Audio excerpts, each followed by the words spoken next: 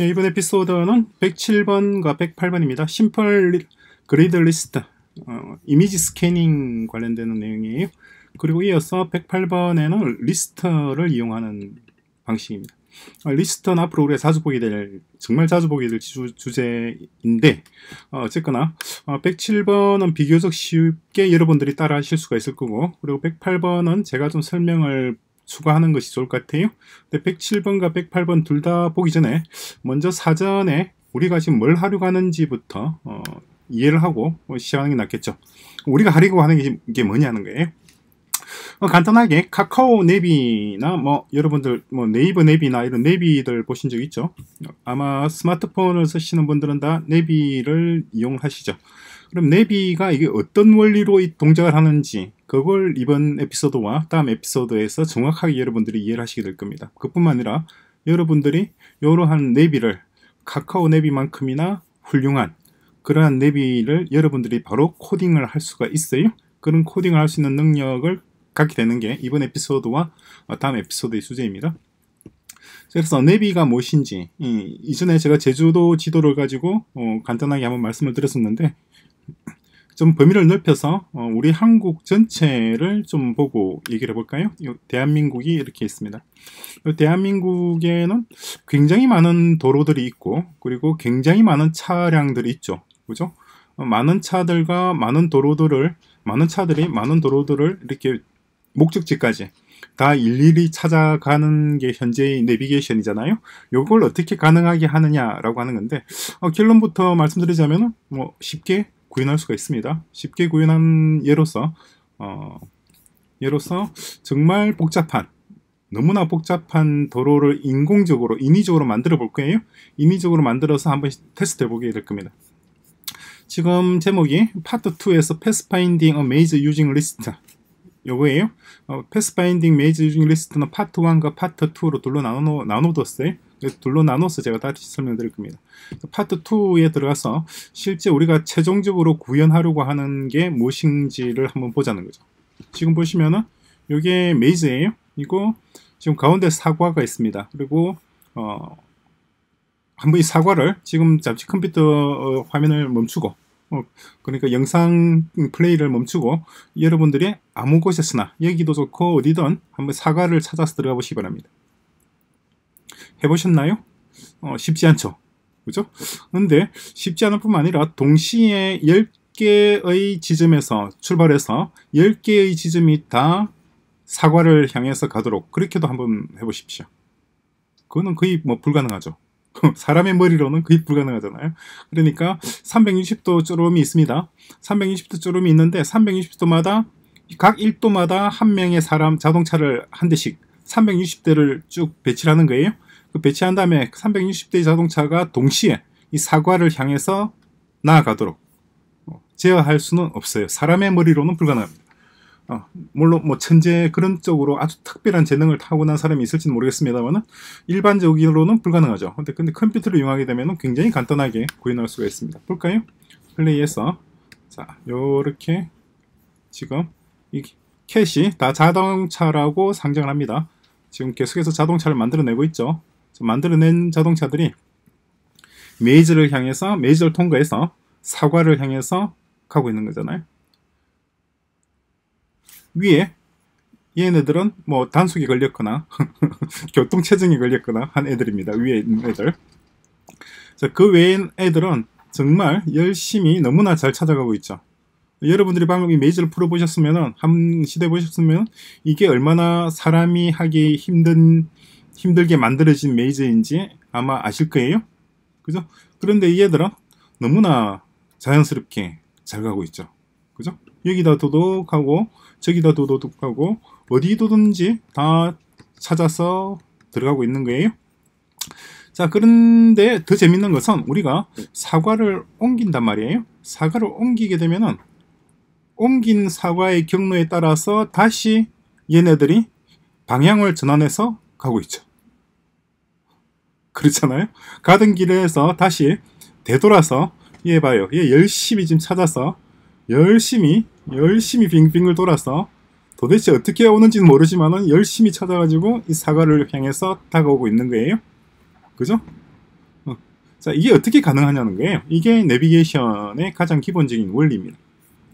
원리인데 어, 사람보다도 훨씬 더 내비가 길을 잘 찾을 뿐만 아니라 지금 제가 쓰고 있는 이 노트북은 어, 성능이 그렇게 좋은 노트북은 아니에요. 그럼에도 불구하고 어, 굉장히 훌륭하게 역할을 수행하고 있죠. 그죠?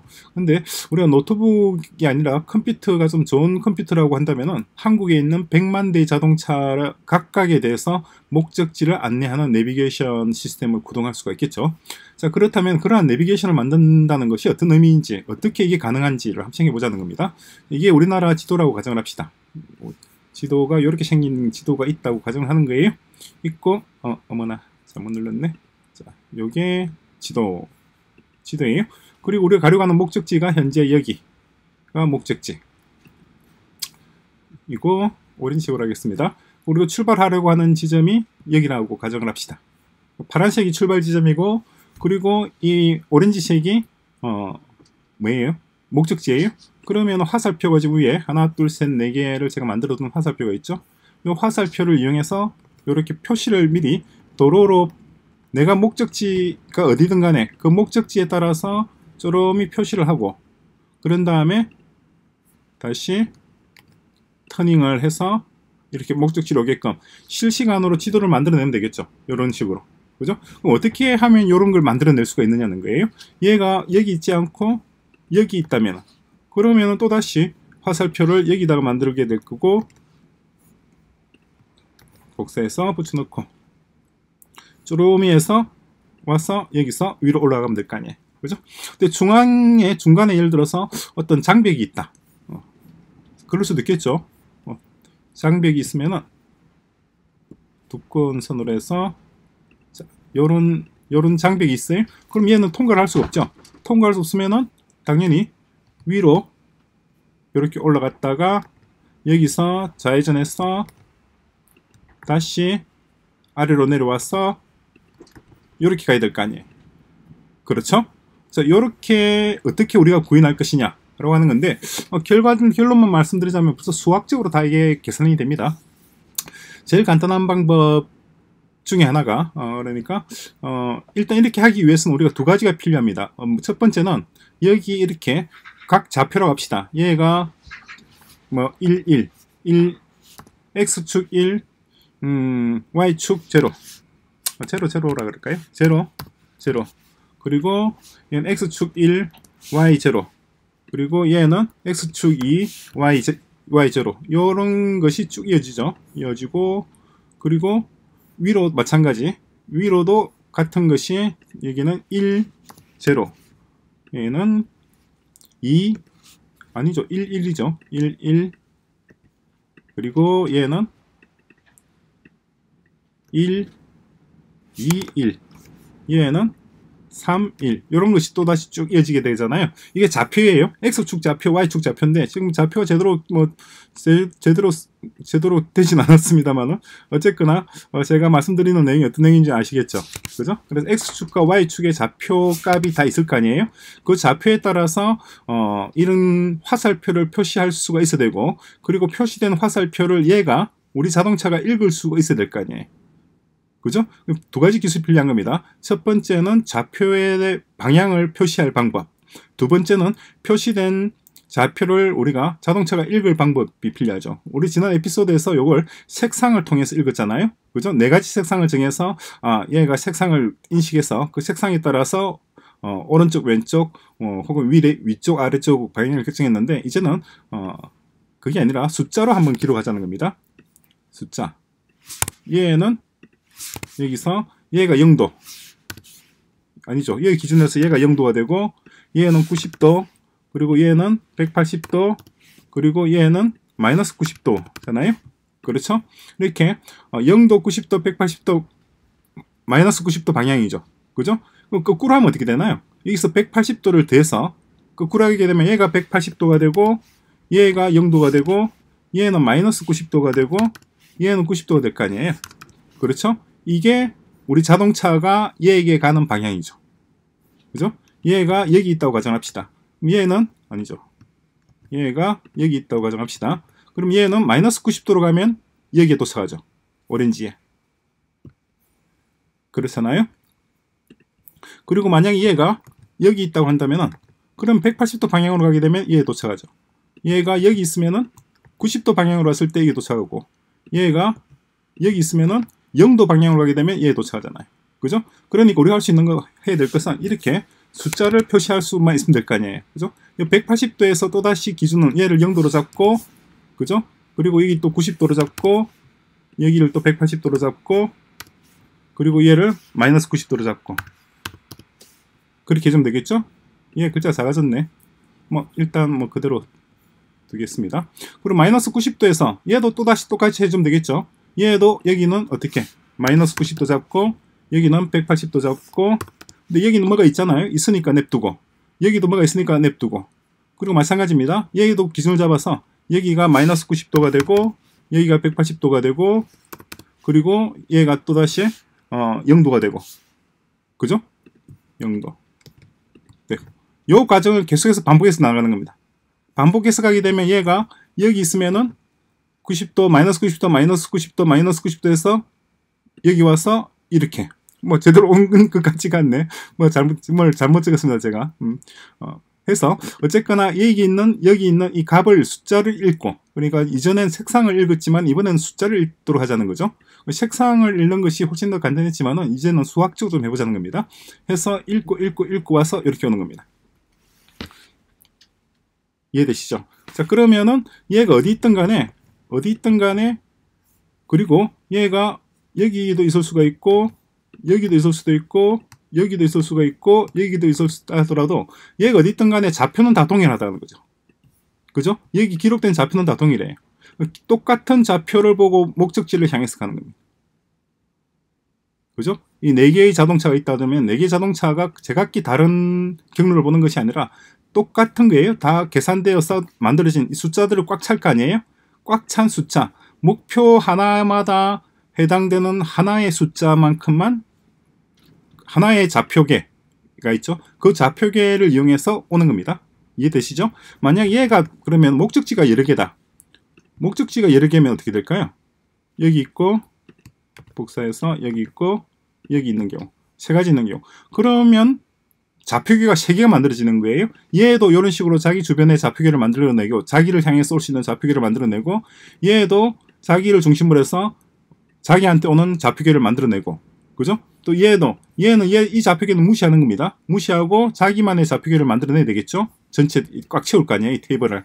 이게 우리나라 지도로 한다면은 그렇죠? 얘도 마찬가지 자기를 중심으로 해서 전체 좌표계를 쭉 만들어내게 될거 아니에요. 그죠? 그럼 얘는 여기 먼저 여기를 갔다가 여기를 간다. 그러면 우선 수준을 그렇게 생각하면 되죠. 먼저 얘의 좌표계를 참조해서 얘한테 가는 겁니다. 그런 다음에 얘가 만들어 놓은 좌표계는 무시하고 두 번째 얘가 만들어 놓은 좌표계를 참조해서 얘한테 가는 겁니다. 그런 다음에 얘기를 온다 그러면은 또 얘가 만들어 놓은 좌표계는 무시하고 얘가 만들어 둔 좌표계를 향해서 가는 거죠. 이해되시나요? 이렇게 해보자는 겁니다. 우리가 지금, 코딩하려고 하는 것이 이게 카카오 내비게이션의 원리예요. 굉장히 단순하죠. 그럼 어떻게 이렇게 숫자를 땅땅 만드는 거냐? 간단해요. 사인과 코사인을 공부했었잖아요. 사인과 코사인을 이용하면 간단하게 이걸 구현을 할 수가 있습니다. 그죠? 얘, 얘한테 가려면 어떻게 되나요? 얘는 얘한테 가려면은 여기는 180도가 될 것이고 여기는 어떻게 되죠? 여기는 90도가 돼야 될 것이고 여기는 마이너스 90도가 돼야 돼요. 그죠? 마이너스 90도면은 얘가 쭉 볼까요? 이렇게 얘가 먼저 이쪽으로 해도 여기는 뭐라고 돼 있어야 되나? 여기는 어 180도가 돼 있어야겠죠? 180도 적혀 있으면 여기 180도로 적혀 있는 이 값을 우리 자동차가 읽고 그죠? 그럼 180도로 딱 내려왔잖아요. 내려오니까 마이너스 90이라고 적혀 있죠. 그럼 마이너스 90이라는 걸 읽고 이쪽으로 오고 또 읽고 오고 읽고 오고 읽고 오고 도착되는 겁니다. 그렇죠? 그런데 얘가 이쪽으로 옮겨올 때 우리가 좀 주의해야 될 부분이 있어요. 우리 우리 이전에 예. 만약 그림을 그림이 땅땅땅 옮겨한다 그러면은 우리 그림을 이렇게 도장을 깡깡 찍어서 나갈 거예요. 도장을 찍으려면 도장의 중심점이 여기 와야 되겠죠. 가운데. 쉘의 정 가운데 와야 될 거 아니에요. 그죠? 그러니까 셀 값을 계산을 해서 이 위치, 이 전체 좌표계가 있다고 가정합시다. 우리나라 뭐 지도로 가고 한다 그러면 위도, 경도, 고도가 있을 거 아니에요? 위도, 경도, 고도 좌표계의 값을 계산을 해서 그런 다음에 이 가운데 지점에 딱 와서 그죠? 지금 제 마우스가 있는 지점에 와서 도장을 꽝 찍으면은 요게 땅 찍어질 거 아니에요. 그죠? 만약에 여기서 두 장을 엉뚱한 데 찍게 되면은 사각형이 이런 식으로 걸쳐지게 되겠죠. 그죠? 정확하게 가운데 지점을 어떻게 찾을 것인가 하는 것도 우리가 이번 에피소드와 다음 에피소드에 걸쳐서 공부할 내용입니다. 자, 요게 우리가 어, 공부할 내용이에요. 제가 쉽다고 말씀을 드렸습니다만은 어, 조금 어, 조금 좀 생각해가면서 해야 될 부분이 있습니다. 그래서 뭐 생각할 부분을 생각하면서 어, 전국적으로는 우리나라 지도가 있다고 한다면은 이 지도에 어, 100만 대 자동차가 있다고 가정합시다. 100만 대 자동차가 각기 100만 곳의 목적지를 향해서 나아가도록 어, 그것을 컴퓨터 한 대가 다 계산해서 각각의 컴퓨터에게 그 경로를 보내주는 수가 있어야겠죠? 그게 내비게이션이잖아요. 그게 카카오 내비입니다. 카카오 내비. 네. 내비게이션이 하는 게 그거예요. 간단해요. 그래서 이 카카오 내비가 엉뚱이 떴네. 이런 시스템이죠. 이 시스템을 우리 실제로 한번 코드로서 구현을 하는 겁니다. 상당히 재밌을 거예요. 재밌는데 첫 번째 먼저 여러분을 학습하실 내용은 107번입니다. 107번 내용은 어, 딱히 예, 어려운 내용은 없을 겁니다. 먼저 영상을 보시고 어, 이 image scanning입니다. image scanning이라고 하는 게 어떤 의미인지 이번 영상을 보시면은 쉽게 이해하실 수가 있어요. 우리가 자율주행을 할 때 단계가 있습니다. 먼저 하는 것이 image scanning 기술 image scanning 기술이 있고 다음에 현재 자기의 위치를 파악하는 GPS 기술이 들어야 돼요. 그 자기가 어디, 어디 있는지를 파악을 해야 될 거 아니에요. 지금 그림에서 보시면은 지금 이 파란색 화살, 파란색 쉘이 내가 있는 곳입니다. 얘가, 얘가 지금 이 좌표로 따지다 그러면은 X축으로 뭐 X축으로 메칸이고 Y축으로 메칸이고 XY 좌표가 예를 들어서 여기가 뭐, 뭐 10이고 11이다. 10이다. 이런 식으로 좌표계 XY 좌표가 나오는데 실제 현실에서는 이렇게 XY 좌표를 그렇게 하지 않고 위도, 경도, 고도로 표시합니다. 위도 몇 도, 몇 분, 몇 초, 고도 몇 도, 몇 분, 몇 초. 어, 몇 분, 몇 도, 몇 초가 아니라 또 다른 방식으로도 표시해요. 해서 자기의 위치를 파악을 하고, 그죠? 그런 다음에 자기의 위치에 기록되어진 값, 방향값. 지금 우리가 0도, 90도, 180도, 이렇게 마이너스 90도 네 가지 값만 가지고 하지만 실제로는 360도 값을 다 가지게 됩니다. 그래서 어 뭐 300m 전방에서 2시 방향으로 뭐 우회전하십시오. 혹은 11시 방향으로 좌회전하십시오. 등등등등 얘기가 나오는 거죠. 2시 그 방향, 11시 방향, 뭐 6시 방향 등등등 얘기하는 것은 어 12개로 좌표계를 나눈 겁니다. 그죠? 그 원리는 동일합니다. 우리가 지금 4개로 180도, 90도, 0도, 마이너스 90도 4개로 이렇게 하고 있잖아요. 4개로 하는 거나 아니면 12시 방향, 6시 방향 이렇게 12개로 하는 거나 아니면 왼쪽 30, 뭐 360도 혹은 아니죠. 300도, 뭐 180도 이렇게 1도 방향으로 하는 거나 원리는 다 동일합니다. 그래서 어, 자, 첫 번째 방금 말씀드렸던 내용입니다. 심플 그리드 리스트 튜토리얼 with 이미지 스캐닝. 이미지 스캐닝이 도대체 무엇인지 먼저 파악을 하시고 그런 다음에 108번입니다. Path Finding a Maze Using List라는 부분이 있죠. 요거 어, 일단 먼저 한번 시청하고 한번 따라해 보시기 바랍니다. 107번에 있는 것은 비교적 여러분들이 쉽게 하실 수가 있지만 108번은 좀 생각하시면서 해야 될 거예요. 그래서 108번 시청하시고 오시면 제가 108번에 있는 내용을 다시 한번 보완해서 몇 가지 더 설명을 좀 드릴게요.